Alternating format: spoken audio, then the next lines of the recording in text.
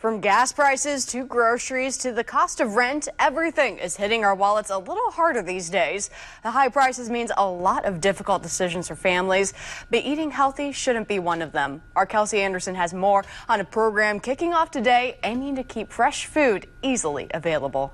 Food in Transit, a program starting here in Indianapolis today, this Tuesday, from 2 to 5 every Tuesday, is going to make it easy for people here in the Circle City to get that fresh, locally grown produce right here at the Carson Transit Center. And it's all happening again right here in a very convenient location downtown, the Carson Transit Center. Now, this program provides fresh, affordable, and locally grown produce. Starting today, that's Tuesday from 2 to 5 p.m. It'll run every Tuesday through the entire summer. The fresh produce is provided by Growing Places Indy, and new this year, they're offering a pay what you can option meaning community members in need can pay $1 or even nothing and still receive at least two items of produce. Now, they do accept SNAP benefits and fresh bucks, cash, credit, debit, all of that here at the Carson Transit Center on Tuesdays from 2 to 5. Again, that's happening throughout the summer, ending in September. Working for you, Kelsey Anderson, WRTV.